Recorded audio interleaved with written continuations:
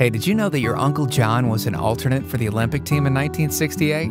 In ping pong? Or that your dad had to propose to your mom three different times before she said yes? Or even that your grandma Evelyn was convinced she'd spend her life traveling the world and never have kids? Pretty interesting, right? Yeah, it's amazing how little we really know about the ones we love best. Sometimes all it takes is asking the right questions. In the end, it's these stories that we remember and pass on. These key moments, shared over a bottle of wine or during a conversation you never expected, are what define someone's life.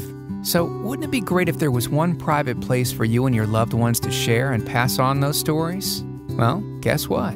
Finally, there is. It's called Proust. Proust is a place to capture the life stories and thoughts of the people you love, to discover who they really are. All right, so check this out. Here's how it works. Simply go to Proust.com and choose from our list of questions. Questions like, okay, mom, what's the most spontaneous thing you've ever done? Or, dad, if you could have one thing back, what would it be and why? Or even, hey, grandma, describe something mischievous you did as a child. Or ask your own.